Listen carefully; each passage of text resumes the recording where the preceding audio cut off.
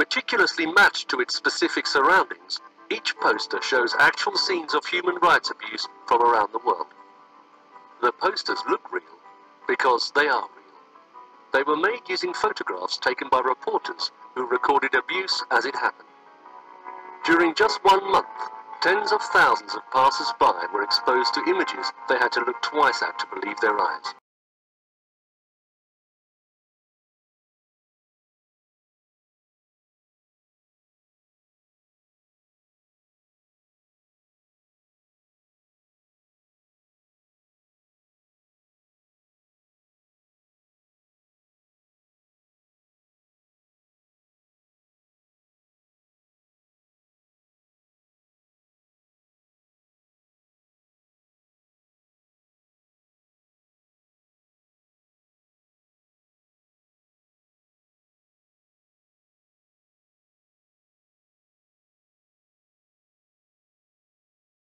They were made using photographs taken by reporters who recorded abuse as it happened.